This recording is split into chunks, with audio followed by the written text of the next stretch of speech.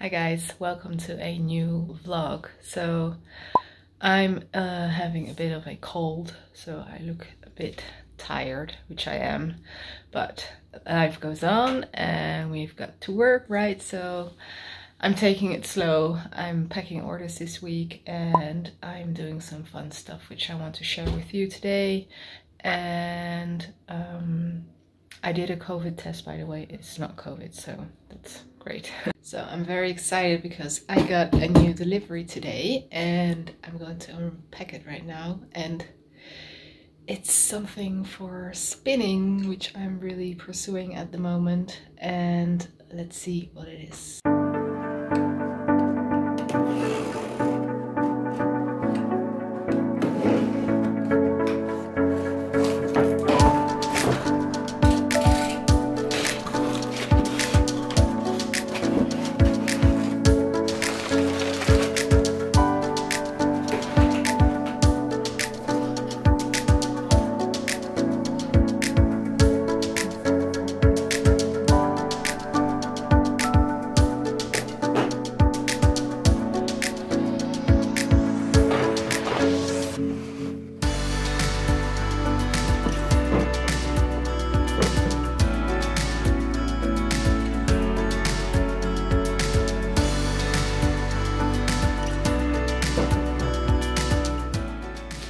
So what I got is a blending board and I'm so excited about it guys. Um, I've been wanting to do spinning for years now but I always thought the investment I'm sorry my computer is making a lot of noise I don't know why uh, but anyway um, I always thought it was a really big investment especially the spinning wheel so I don't have that yet but I do have my um, drop spindle, which I showed you in a previous uh, vlog, studio vlog. But um, yeah, I could only spin like the roving that I had and I really want to make multicolored yarn. So the next step I thought was getting this blending board. I don't know if you've seen it before, but this can be used to make uh, to put roving and other kinds of fibers on and then make a rolag and with a rolag you can start spinning and also on a drop spindle so that's what I wanted to try. And then eventually I will probably invest in some kind of spinning wheel. But I don't know which one yet and what would be good. And um, yeah, maybe if someone wants to sponsor one, that would be nice. Um, but anyway, um, so I thought I would try this blending with you guys for the first time. So I bought this online from a shop. You could have seen it on the box. I just bought it. It's not sponsored or anything. And on the back it is, um, yeah, how do you call this? Well, it's it's uh, soft and it's not supposed to move when you have it on something. I actually thought there was going to be something on the back so I can set it up right, but uh, I guess there isn't so, but it's okay. I'll manage to uh, do something with it. So let's start blending some yarn and see what comes out of it.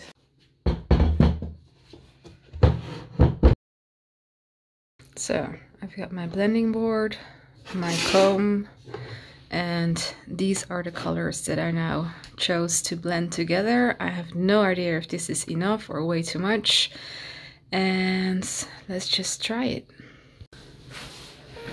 So I'm just going to take this strand and then just make sure it gets grabbed I think so there are all these pins here and they are supposed to get hold of these fibers.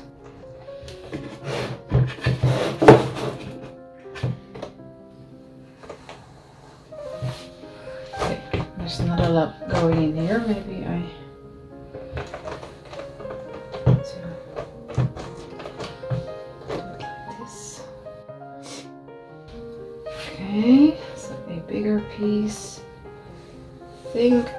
to put more in and then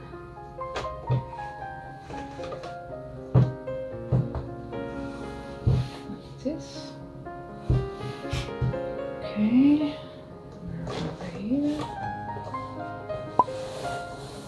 Okay, oh wait. I'm sorry about sniffing, but nothing really I can do about it. Okay, let's put in some of the yellow. Think just have to push it down more to make sure it sticks. Like below here, I have to make sure it goes in between. Yeah, see? Now it's grabbing hold. So here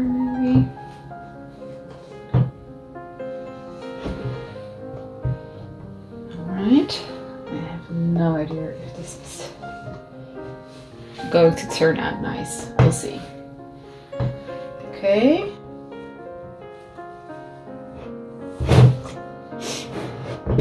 So I think I'm going to make a stand for this thing because this is not really ideal, I think.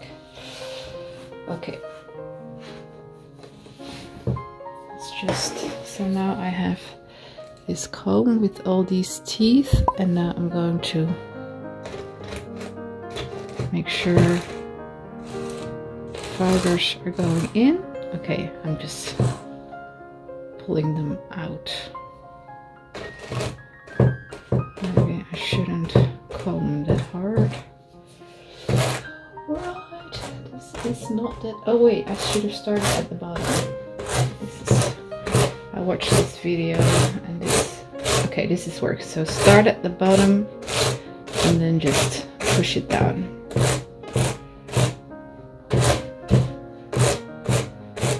You're essentially combing the fibers in between the teeth. I think I should pull them. Oh, okay, don't do that. In a second. Okay, now we're going to add some more. Add some of these. I think I could put leave more in here. Just put it on top.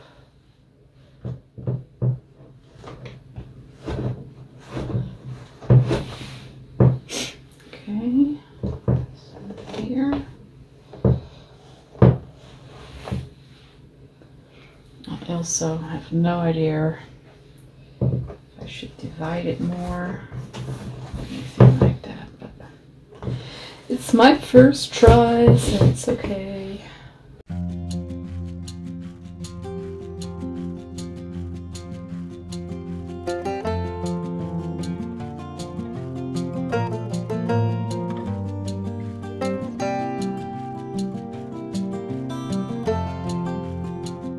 I guess I'm going to start combing again.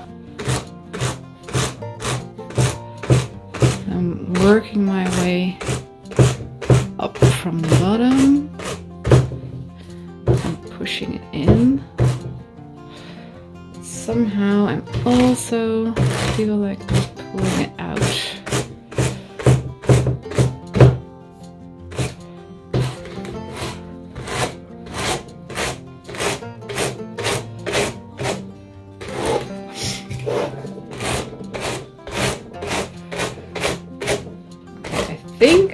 way more yarn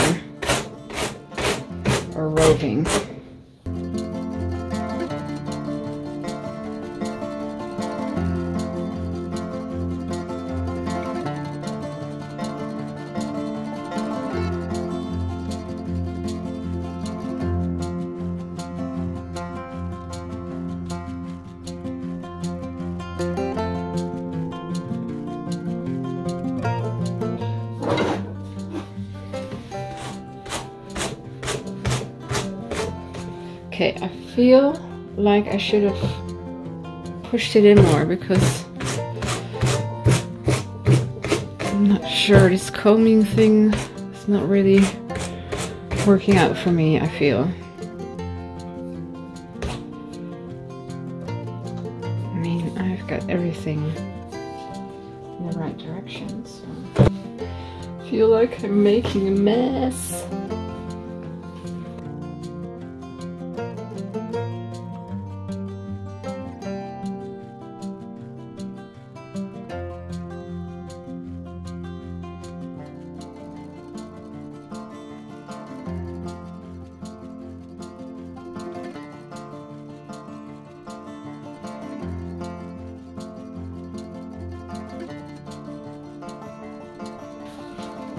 Okay, um, I have no idea if this is enough, but I'm just going to start taking it off now. So, I've got my dials. Hi, from future Vera. Uh, so there was a problem with the camera apparently and it just stopped filming at this point and I started rolling the rolags and everything and I didn't notice the camera stopped filming. So I didn't film anything, which is great because I just wanted to show you how you make rolags. But anyway, so what I did to solve this problem is make a completely new batch with different colors and then I filmed that. So let's look at how I make rolags.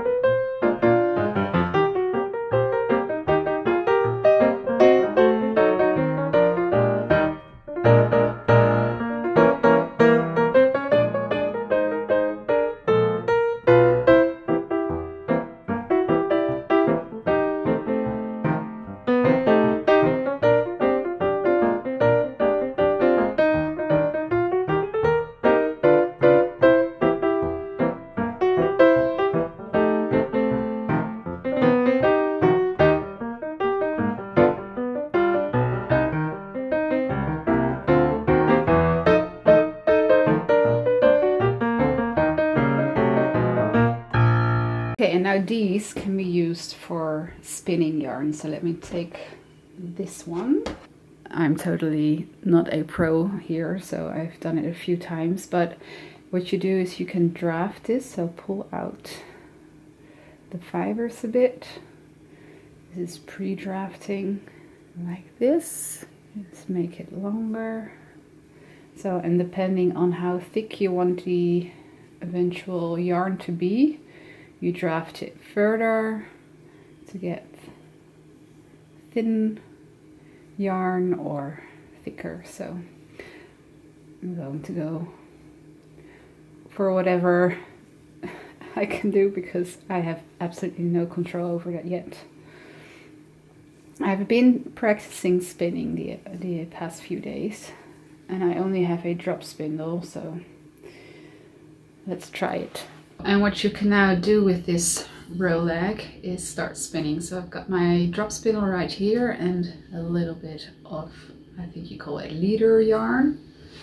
And then you take the rolags and the bit that I drafted already, you put it in the leader yarn loop so that you can attach it. And then you just start spinning. So having it over my arm. And I'm going to put some twist here. Maybe you want to draft it some more to make it thinner or if you want thick yarn it's fine too. And then just spin. Make sure the twist goes into the yarn like that. And now I made it so thin that I broke it but that's not really a problem. You can, if you just attach it again and make sure that the twist goes in there, then you've got it fixed. So that's, as you can see, no problem. And then you can start spinning again. And that's how it works. And afterwards you will have to set it. And as you can see, well, I just did a really small bit really fast. But anyway, you get the gist and that's what I wanted to show you. Yeah, that's how you can blend colors of roving and you can also add really fun other fibers like um, locks or maybe some glitter or uh, scraps or anything like that. And yeah, I'm going to experiment a lot and see if I can make something fun. But not now, because now this video is coming to an end. I hope you enjoyed it. Next week I'm going to tackle my desk area because I'm not happy with it. I don't have enough room I feel. So I'm going to add a shelf and I'm going to paint my desk because it's now uh, wood that has not had any finish over it so I can't really clean it. So I'm going to paint it and organize it. So that's what we're going to do next week. So if you like that, please don't forget to subscribe because then you get notified every time I post a new video. So have a good week guys. Bye.